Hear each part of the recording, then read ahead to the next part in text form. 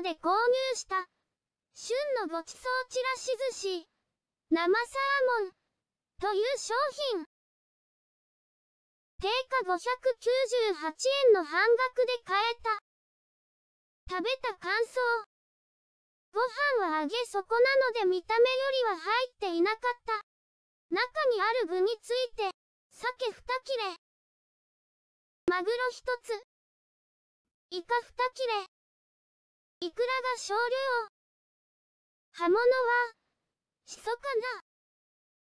鮭フレークと思ったものは、なんか魚、糸状態にしたような感じのもの。それと魚のたたきのようなもの。ご飯は、冷たいので食べにくさはある。箸で掴むとこぼれやすいので食べにくい。散らかることが多いため食べる場所には気をつけないといけない。食べ終えて腹5分程度。容量が物足りないんだ。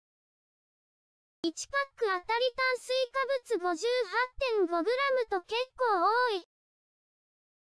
縦型のカップ麺1個と同等だ。